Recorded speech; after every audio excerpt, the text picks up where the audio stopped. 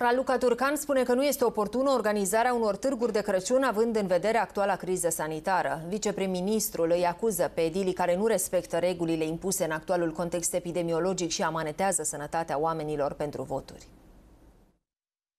Să te ambiționezi să faci târg de Crăciun acum în, pliz, în plină pandemie este ca și cum e arunca pe români în ghearele morții.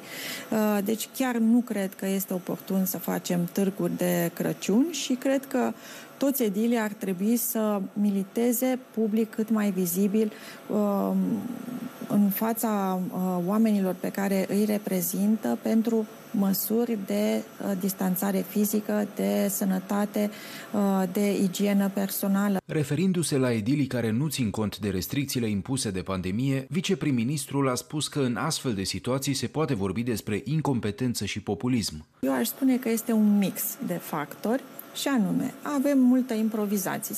Sunt pur și simplu unii care nu știu. După aceea avem incompetență, da? Care ajunge în multe locuri să fie criminală și avem politicianism din ăsta ieftin care pentru o mână de voturi amanetează sănătatea oamenilor. Printre primarii care au anunțat că nu renunță la organizarea unui târg de Crăciun în acest an se numără și edilul Craiovei, Lia Olguța Vasilescu. Decizia primarului PSD vine în ciuda faptului că situația epidemiologică din județul Dolj se află în scenariul roșu și indică o rată de incidență a infectărilor de 3,94 la 1000 de locuitori.